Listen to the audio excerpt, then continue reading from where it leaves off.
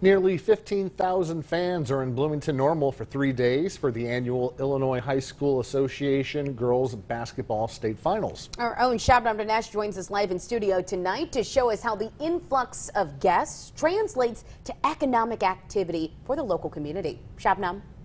Well, Mark Shelby, Redbird Arena at Illinois State University was packed with fans today, cheering on their favorite high school girls basketball team and the Twin Cities are reaping the economic benefits to the tune of $1.2 million. That's according to the Bloomington Normal Area Convention and Visitors Bureau.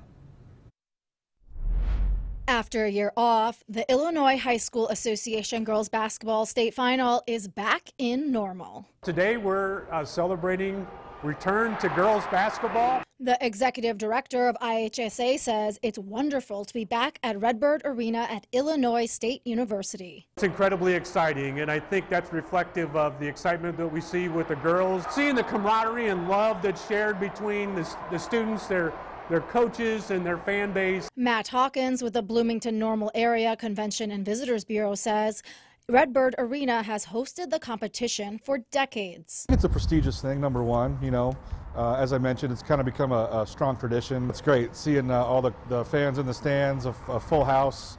Uh, this the energy, I think, is what's exciting to me. Hawkins says visitors to the area will bring an estimated economic impact of $1.2 million.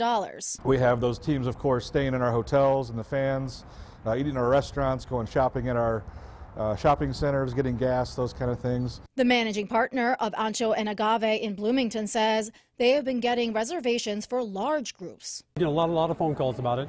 Uh, parties 10, 12, 20. We try to take as many as we can. Hawkins says it's a win-win for the whole community. Positively impacts the community and increases the quality of life here for our residents. The tournament ends on Saturday. And Anderson says this year is the 50th anniversary of Title IX. That legislation prohibits sex discrimination for schools receiving federal funding. Anderson says it has led to many gains for girls in sports. He says they recently held the first high school girls wrestling championship. Shelby?